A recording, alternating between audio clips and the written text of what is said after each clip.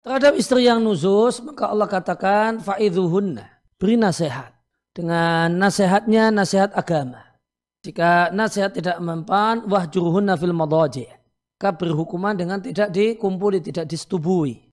Selama sekian waktu lamanya. Dan jika wanita yang normal, yang punya kebutuhan biologis, maka hal ini menjadi satu hal yang menimbulkan problem bagi dirinya. Karena hasrat biologisnya tidak tersalur Kemudian kalau ini tidak mempan, baru kemudian Allah katakan watribuhun dibolehkan untuk memberikan hukuman fisik dengan ketentuan dan syarat yang berlaku. Di antara syarat yang berlaku adalah suami menjalankan kewajibannya sebagai suami sebagaimana mestinya.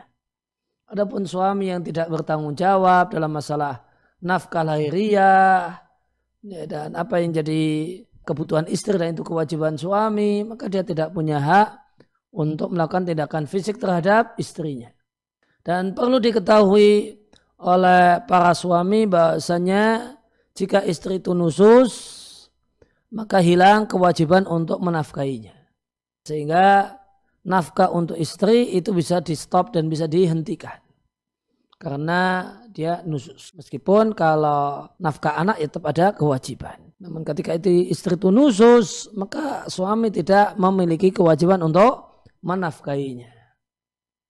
Nah,